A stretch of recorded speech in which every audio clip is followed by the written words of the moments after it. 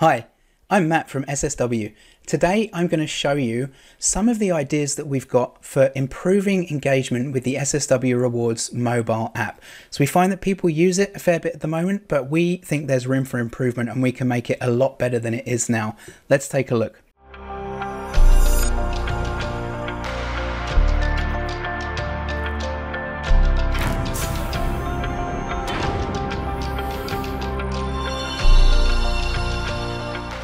So, by way of introduction, here's the status quo. So, the situation at the moment is that very few people are actually installing the app, even at events when we tell them to scan a QR code to win prizes. And the thing is, the app has very little value outside of conferences. At conferences, we get great engagement. People are running around scanning our QR codes, doing our challenges all the time. But outside of conferences, not so much. So if we take a look at some usage statistics here for iOS, we can see that it's used a couple of times a day. Obviously, we can make that a lot better. For Android, the situation is a, a little bit worse, yeah, uh, one and a half to two times a day. So all in all, comparatively, this is... So the question is, how can we drive engagement to the SSW Rewards app? We've made some assumptions regarding this strategy, uh, and these will become relevant later why we've made these assumptions, but they're important.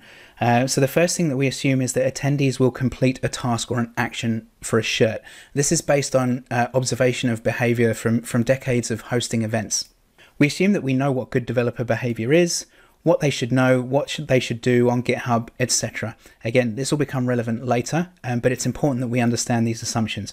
We also assume that we want to show off our mobile skills. SSW Rewards is our showcase app. It's our shop window to the world that says to everyone, hey, look what we can build.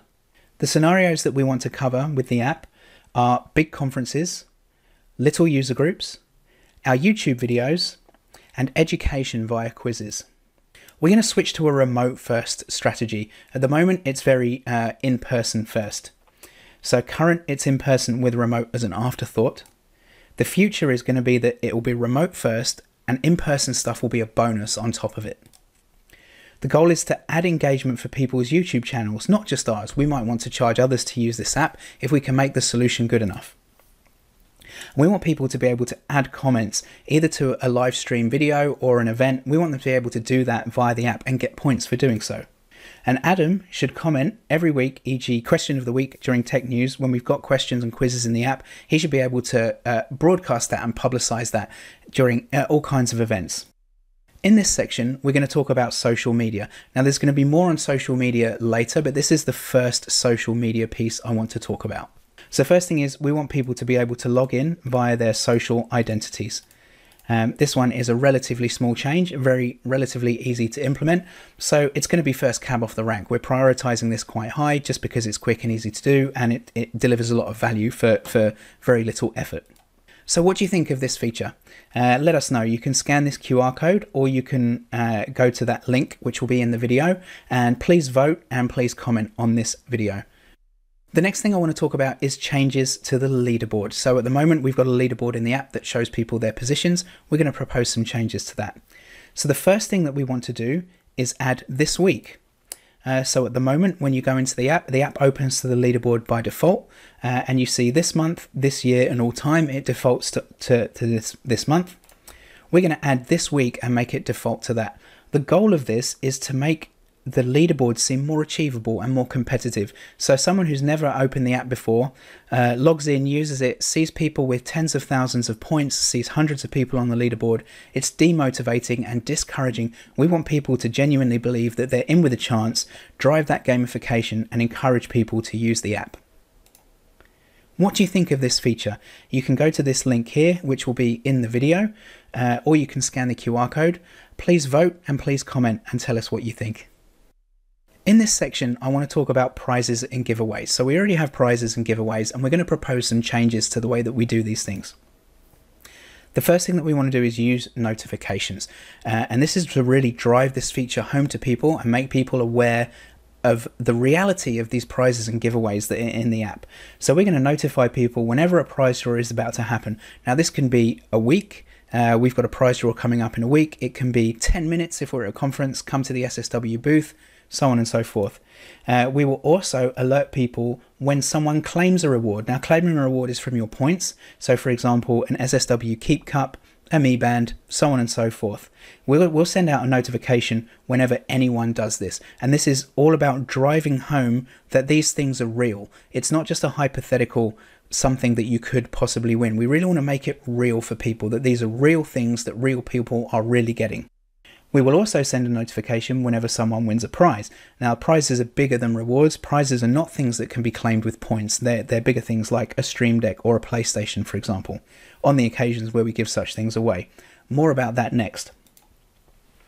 So we want to have giveaways at every event. So we want to make sure at every event we're giving away rewards. We're making them real. We're making them tangible.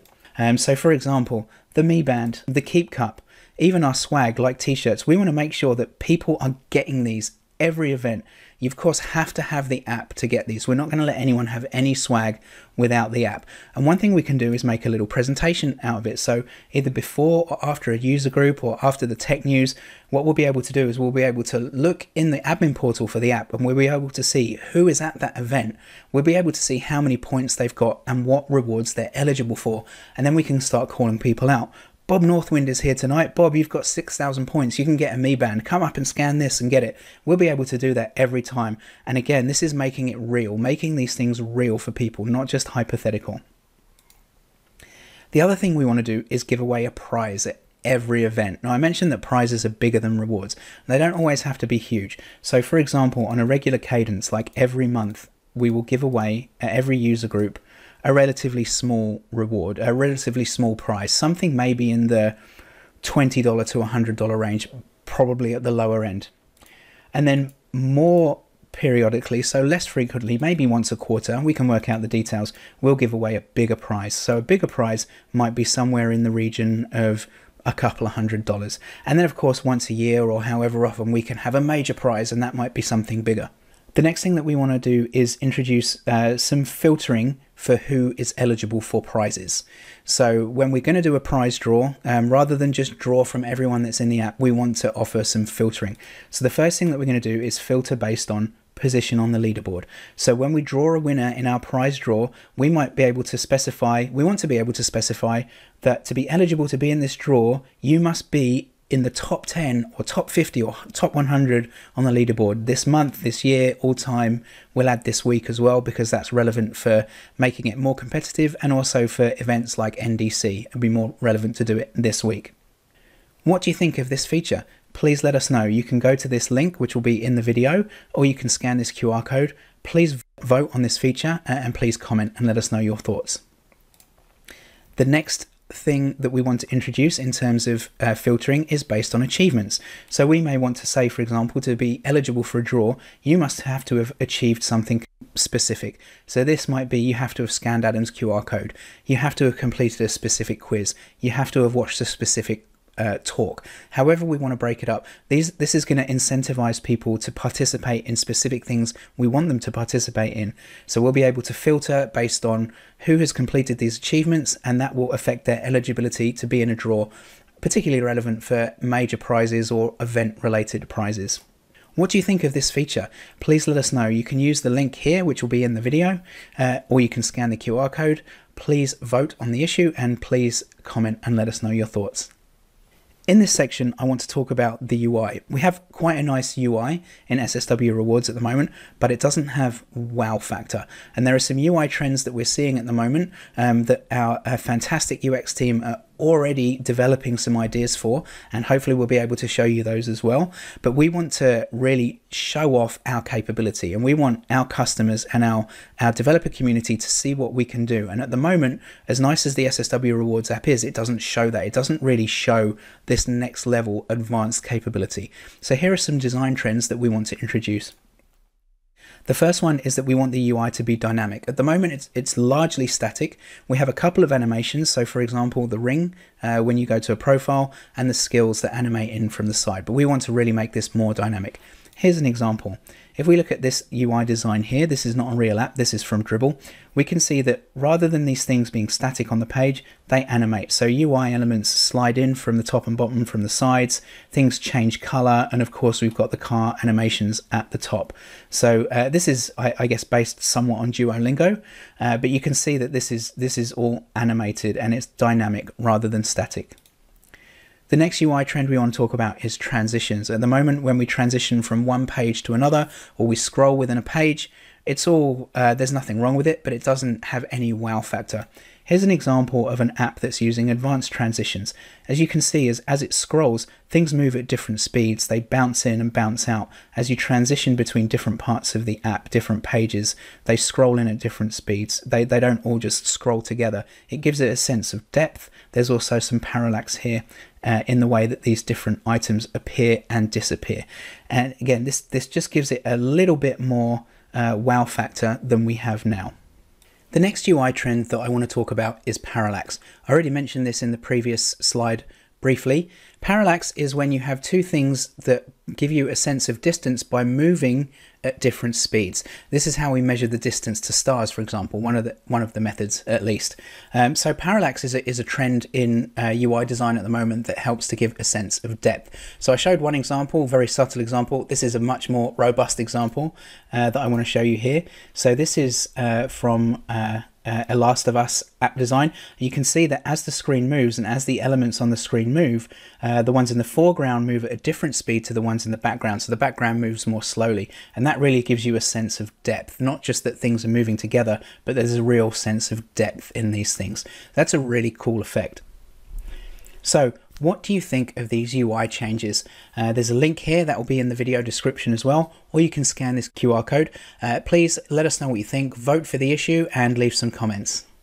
In this section, I want to talk about quizzes and the quizzes that we're going to have in the app. This has been around for a while actually, we just haven't released it, so let's talk about it a little bit. So when it comes to an app, content is the main thing. Unless your app does something very specific and very useful, very productive, the only thing that's going to keep people coming back to the app is content. The content that we have is quizzes. So we have tech trivia. We had one tech trivia quiz uh, in the first version of the app. We took that out. We haven't had anything since. We have all of the functionality built. It's ready to go. We've got a full quiz engine. We haven't enabled it yet. So what we would like to do is release quizzes regularly on a regular cadence. Uh, and this is new content. Um, and it, it, means that we'll have new content released regularly in the form of a new quiz uh, that's going to keep people coming back to the app to, to take that quiz and earn points and learn. Uh, we would do, in addition to a new quiz, we would have a question of the week. Uh, question of the week would likely be chewed into, uh, tied into our chewing the fat um, or our user group, depending on which week of the month it is. And of course, we can make that a condition of free lunch if we want to. We can we can add it to the requirements. You have to have done your SugarLearning, your timesheets, and also you have to have had a go at answering the question of the week. Of course, you don't have to have got it right. You just have to have submitted an answer. Um, this feature is really relevant to our target demographic. And the reason is that the, the reason that our developer community follows SSW and engages with us at all is because we put our image out there of us being a great source of learning. So we've got a lot of uh, very knowledgeable developers that develop content on new technologies, new techniques, all the time. And this is what appeals to our target demographic. They want to learn from us. And this gives them an opportunity to do so. This gives us a tool to help people learn from us. And this is the reason that our developer community follows SSW in the first place. So it's really, really relevant. It also helps us demonstrate our thought leadership. It helps us show off our skills and our capabilities by showing the depth and breadth of our knowledge in all kinds of different technical matters. We can also have a question or a quiz related to any specific rule or any group of rules and we can tie that into SSW rules as well. And this is a really good feature for reinforcing learning. This is something that we might want to introduce as well some other content ideas that we've discussed and we're not doing and and the reason that, that quizzes are so important to the app is because they're a relevant content uh, method and a relevant content type that we can have. We've considered some other things that don't really work for this scenario. One is videos, so we have video content. We could release it exclusively via the app or early via the app. That's not going to work for a number of reasons. Potentially blog posts, again, exclusively to the app or early via the app. Again, not really something that we have content wise and, and not a good fit for the app for various reasons. Um, not recommended, as I mentioned. So, what do you think of the quiz feature? Uh, please, uh, there's a link here that you can you can use. That will be in the video description. Uh, scan the QR code. Let us know. Please vote on this issue and please comment. Let us know your thoughts. In this next section, I want to talk about social media again. So we mentioned social media earlier. Uh, the simple uh, approach to social media integration is to let people log in with their existing social IDs. We want to take it a step further. We really want to give people points. Uh, so, you know, let's say someone's got 500 points. They share something on Twitter, LinkedIn, Google, GitHub. When they engage with us on social media, we want them to get points boosts for doing these things. So we want to integrate with these social platforms, give people points for sharing our content, interacting with our content, engaging with SSW online. What do you think of this feature? Please let us know. You can follow this link, that will be in the video description. You can scan the QR code instead. Please vote on this issue, comment, let us know your thoughts. In this section, uh, which I'm quite excited about, I want to talk about some recruitment features that we're going to introduce into the app. Um, so at the moment in the app, there's a menu that uh, says Join SSW. When you click that, it takes you to the employment page on our website. That's fine. That's not very exciting though. What if we can do better? So what if instead, when you click Join SSW, it generates something for us using all of the data that we have about you as an external user related to the app. So the first thing that it's going to do is going to prepare an email report. This is all going to happen in the background. Now we know what events you've attended. Okay, so we've got that data. If you've been checking in in the app, we know who you've met. Okay, we know what SSWs you've met. We know what social platforms you follow us on. We know what quizzes you've taken, how many how many times it took you to complete that quiz, how long it took you to complete that quiz. We already have a wealth of information here about your capability, your technical capability. So what it will do is it will prepare that report and it will send it to Penny. Penny can then review that and she's got the full report, quizzes, attended events, who you've met, all that sort of stuff. And we can review that before we even take an, uh, uh, take an application to the next stage. Then within the app, once you submit your application, you'll be able to see how your application is progressing. So Penny will of course encourage people to apply via the app. You won't have to, but by doing so, you'll be able to view in real time how your application is progressing. We'll be able to encourage you to say, look, take some quizzes you'll get some points but also you know we'll review that when we review your application so it's really worth your while this is really going to encourage people to engage with the app and really make that recruitment process more valuable to us because we'll have so much information here about a user now, as they're progressing through this process of applying uh, via the app, uh, we'll be able to integrate that with our Teams app that we already have that manages the bookings, manages the coding challenge, and the comms challenge. So we'll be able to automate a whole bunch of that stuff, but most importantly, get a wealth of really valuable application uh, information about an applicant before we even take that to the next step. What do you think of this feature? Please let us know. You can follow this link here, which will be in the video description. Alternatively, you can scan that QR code. Please vote on the issue. Uh, please comment, let us know your thoughts. In this next section here, I want to talk about a feature which uh, is is kind of low priority because it's it's hard work, but is potentially valuable in certain situations, and that's custom leaderboards. So imagine this idea of arbitrary uh, leaderboards, which which can be for an event, it can be for a rivalry between two people. This was really inspired by seeing how uh, uh, the CBA team at NDC were interacting with our app when I saw them there last time. They were all really competing with each other and really competitive and really, you know, trying to to beat each other for that top position. Um, so what if, for example, Bob Northwind can share a QR code from the app. Now, at the moment, SSW people can share a QR code. What if everyone could, right? So you can use this to connect with people that you meet via SSW, but you can also use it to create a private leaderboard. So uh, his mate Bill Westwind might come along and scan Bob Northwind's QR code, and now they've got a leaderboard that's just the two of them.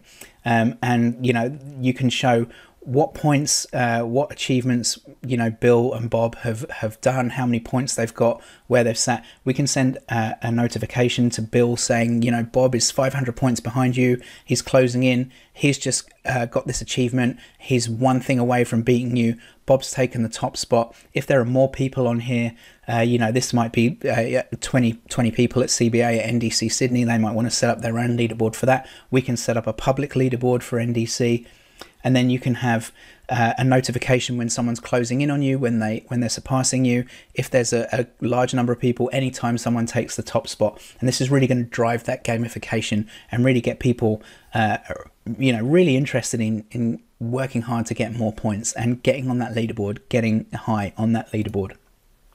What do you think of this feature? Please let us know. You can follow this link here, which will be in the video description, and you can scan that QR code as well. Please vote on this issue, leave some comments, let us know what you think. The next thing that I want to talk about is coffee and meal orders. At the moment, um, it's quite low tech. When you come to an SSW event, we let people, depending on the event, sometimes there's food, sometimes there's coffees and coffee breaks.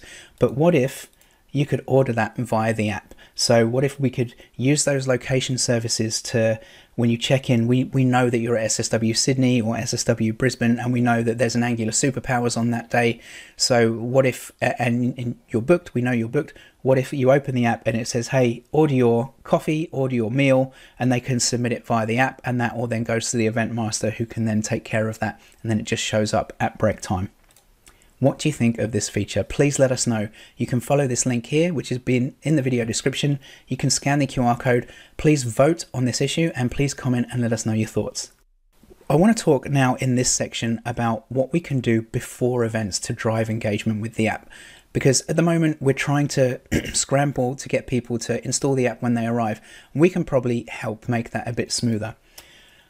So one, one thing I want to do to get people to install the app before they arrive uh, is include a download link in all of our comms. Now, this would only be uh, B2C comms. This probably isn't appropriate for B2B communication, but in all of our B2C comms, we can uh, add a link to download the app. So here's an example of, of, of what these download links might look like. This is from something else. But we could include this in an email, and this could be in an RSVP for an event, for example. This could be in our newsletter. Um, but the other thing that we can do is really promote the giveaways and prizes in those comms as well. So I mentioned uh, in uh, another section earlier about having major prizes every quarter or every year and smaller prizes every month. Uh, you know, if we've got a prize draw coming up, we should put that in that comms as well. Say, install the app, download the app, and if we're saying there's criteria, make sure you've met Adam or make sure you've completed this achievement uh, and you'll be in the running to win this, this award, but you have to have the app. This is going to stop that mad scramble of trying to get people to install the app in a few seconds at the start of a presentation. In this section, I want to talk about some other things that we can do during events to help improve engagement with the app. The first thing I want to talk about is about making it remote first. I've mentioned this earlier in an earlier section, but what we're going to do is essentially have a QR code on every slide in a presentation for getting the points. Now, the reason is what we can do is we can encourage people to install the app, but we also then don't have to have this mad scramble of getting people to install the app within a specific space of time at the start of a talk or trying to scan the QR code to get the points in a narrow space of time at the end of a talk. By having a QR code every slide, it reinforces that message that there is an app, that there is a, it's a call to action. It tells people there's something to do to get points. What does this QR code do? Scan it, find out, get the points. It also has the benefit that as soon as one person does it during an event, people see people doing it. You know, no one wants to uh, mad, madly try and rush to scan a QR code at a specific time in a talk. But by seeing other people do it more sort of leisurely throughout the talk, it really encourage, encourages other people to follow suit. But what about in person? So in person, uh, we will give a bonus uh, set of points. So you get points for, for watching the app, everyone remotely, uh, whether it's on YouTube, uh, later, whether it's during a live stream, whether it's at an event, people will get points. But people that are there in person, and we can do this through location services, will get a points bonus for being there in person. So it's remote first. You don't just get the points for being there, you get the points for watching it. What you get for being there is a bonus we want to add another feature during events, which is about attendees. So the idea is that when you're at an event, you can see who else is at this event.